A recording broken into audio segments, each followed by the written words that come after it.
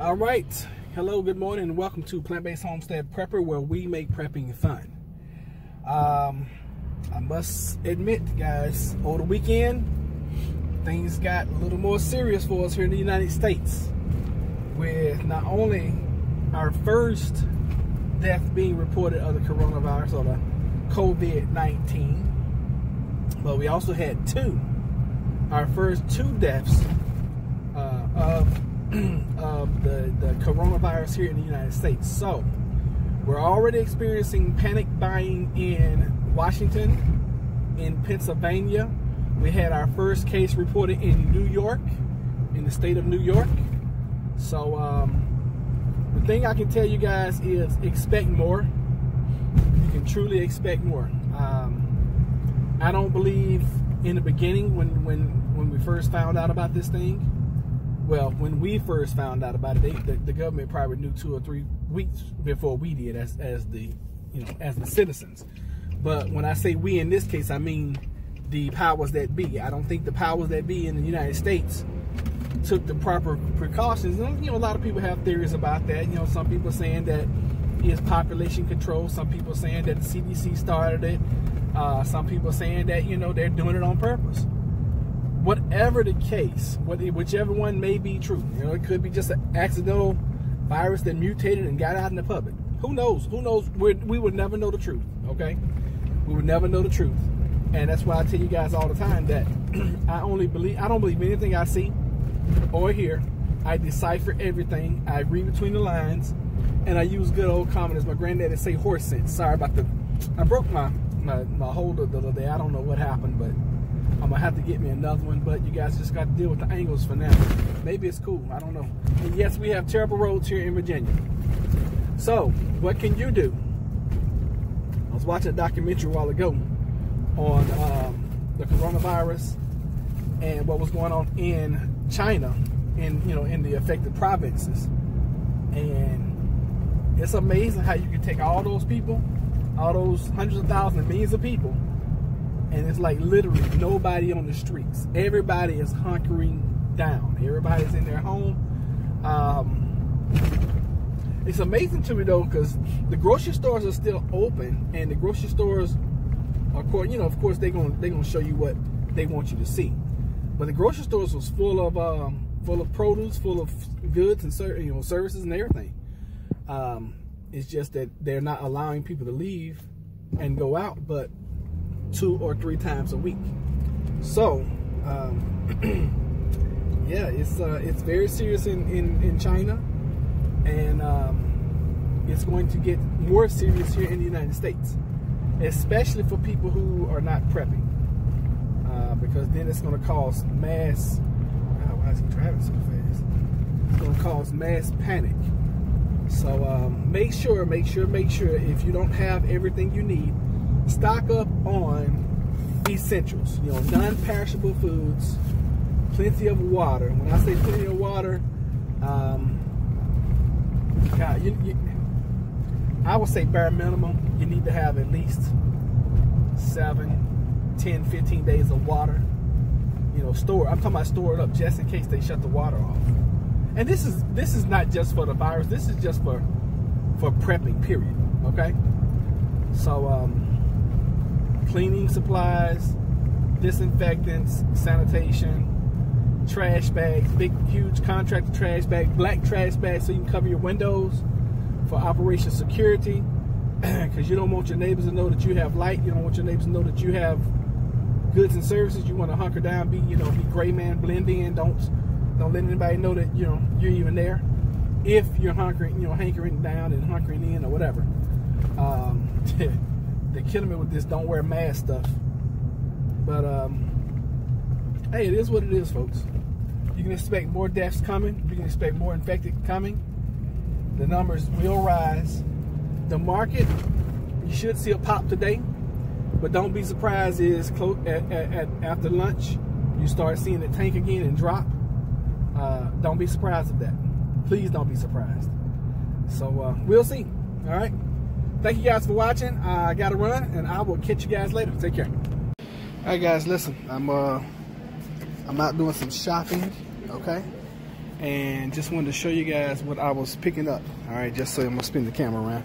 I got some au gratin potatoes, got some avocados, got some of these stews. These are amazing. They're like um, it's called German bean stew, and they have German vegetable stew or soup or whatever rather. And yeah, it's a huge can. How many ounces? I don't know. I just picked them up. Give us some variety. It's about 500 calories per can.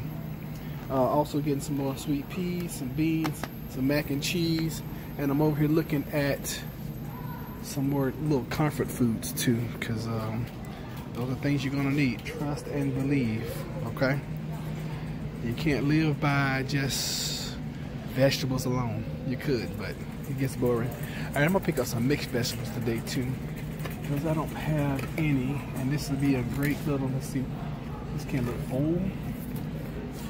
So many calories in here. It's three calories per can, 35 calories per serving. So what's that? 100 and I don't know, 120, 130 calories. I saw some canned potatoes too. I was thinking about getting. I know I got some, not the time before, but the time before that. Corn is always good, and, and here at Aldi's it's real cheap. Okay, 38 cents a can. You get a whole case of it for like what? Uh, that's 12 times 38, whatever it is, about four bucks. So I come in here and got get them by the cases. Uh, probably gonna end up getting us some. Yeah, I like I like the peaches in the heavy syrup.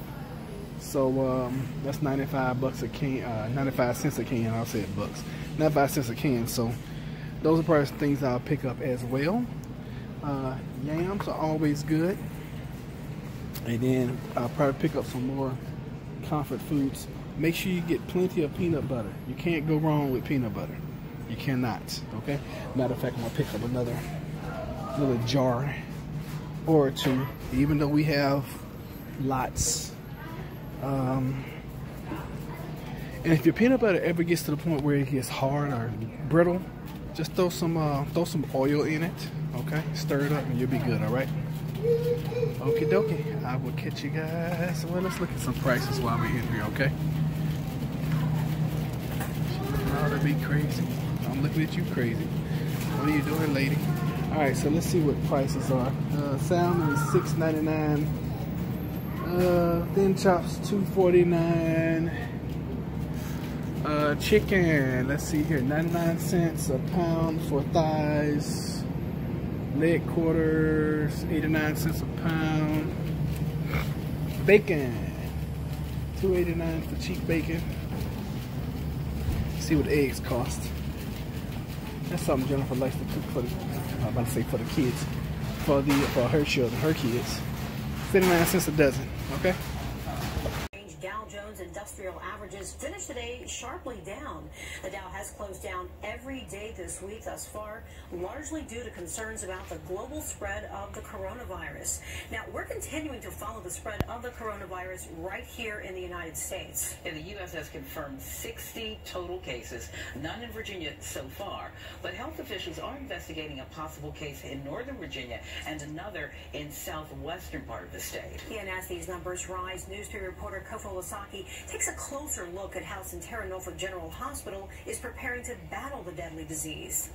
The first step to fighting coronavirus is identifying it. Patients uh, that have presented internationally have developed fever uh, as well as cough and shortness of breath. Those are the most common signs, similar to the cold, which makes it tough to pinpoint. We have a number of negative pressure rooms in all of our facilities. Like this one right here, it would make sure that none of that contaminated air would get out to the rest of the hospital that could make anyone else sick. Before interacting with the patient, staff members put on a gown that keeps their skin and clothing from being contaminated by droplets. Then they cover their face with a mask specifically fitted for them so they don't inhale any droplets in the air. Next comes the protective eyewear, and lastly, gloves that will keep their hands clean while interacting with the patients. The mortality rate, at least right now for the coronavirus, is around 2%.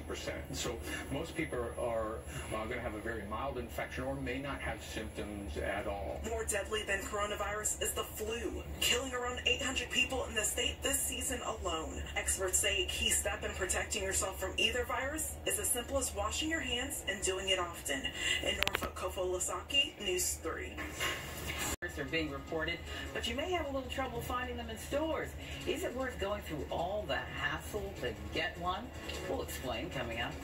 John Matarese looks at whether you should try to buy some so you don't waste your money.